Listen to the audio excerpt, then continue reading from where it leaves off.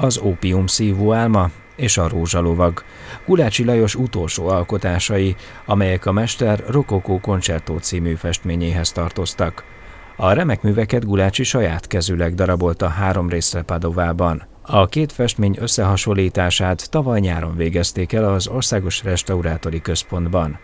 A remek művek több mint 80 gulácsi festménnyel együtt most a Nemzeti Galéria kiállításán láthatók. A tárlat különlegessége, hogy a művész Szipán képei most először láthatók egy helyen. Szipán egy gulácsi fantáziájában létező világ volt, ahova a mester a valóság elől menekülhetett önarcképek sokaságán mutatjuk be azt a különös szerepjátékot, amely nagyon jellemzője volt Gulácsinak, nagy örömmel és hát kedvel öltözött különböző szerepekbe, visszanyúlva akár a reneszánsz időkig, vagy a rokokó koráig, és különböző szerepekbe papként, szerzetesként, bohocként jelentette meg magát.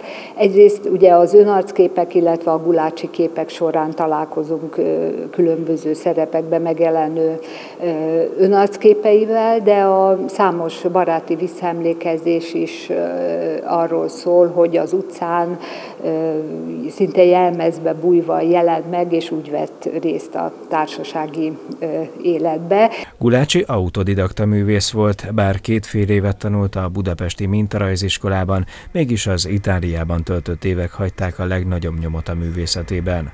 Festészetében megidézte a középkor és a reneszánsz művészet sajátosságait, később a preraffaeliták voltak rá hatással.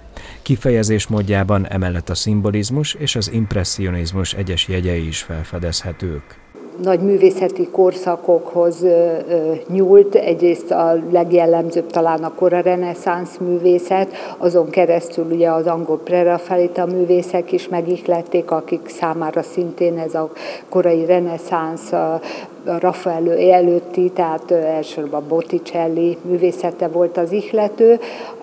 Ez a 900-as évek elején volt jellemző inkább pályájára, majd a 10-es évektől egy váltás következett, és akkor a rokokó művészet, Watto volt az, aki nagyon inspirálóan hatott akkor született születtek az úgynevezett rokokó képei.